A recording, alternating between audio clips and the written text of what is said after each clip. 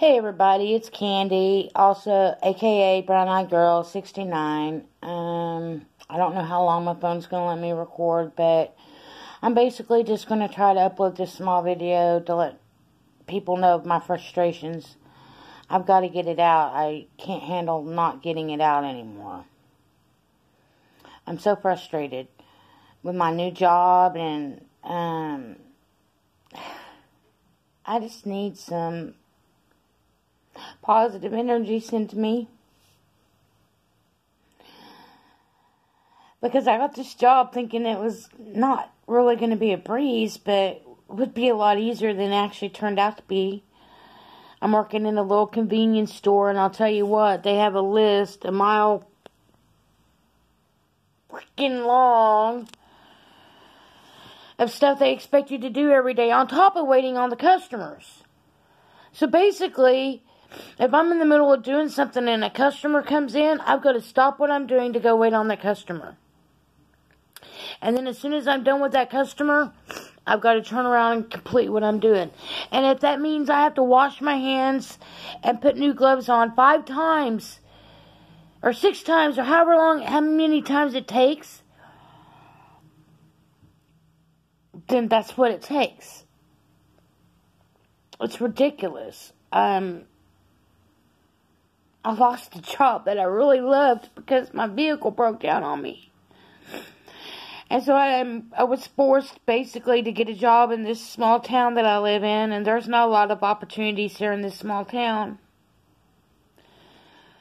And the only reason why I got the job where I was is because my daughter works there.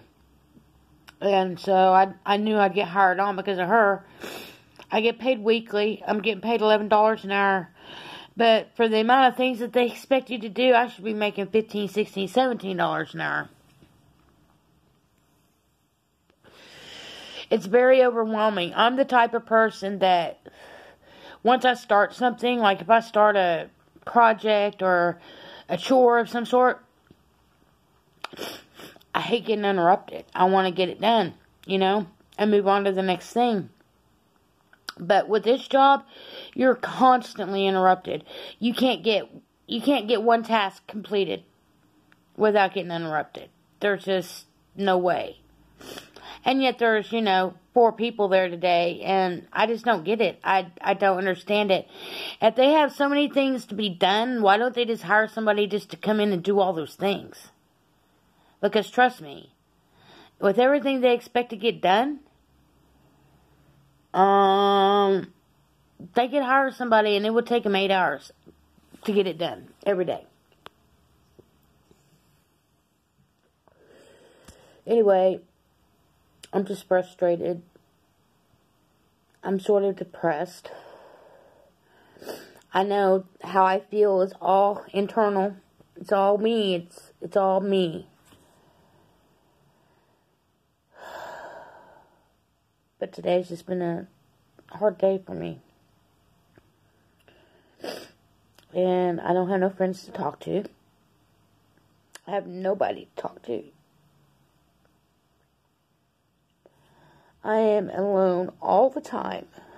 I have no real friends in life, in real life.